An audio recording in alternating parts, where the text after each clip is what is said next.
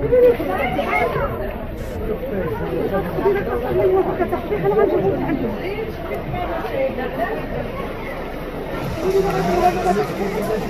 hospital.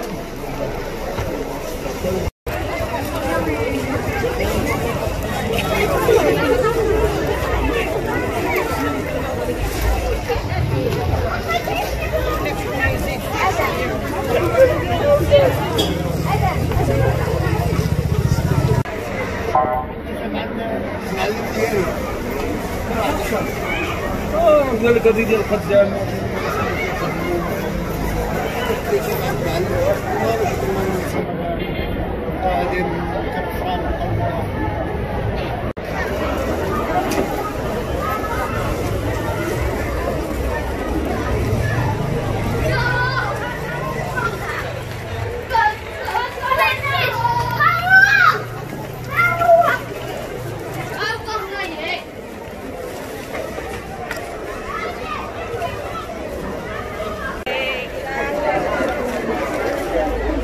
يا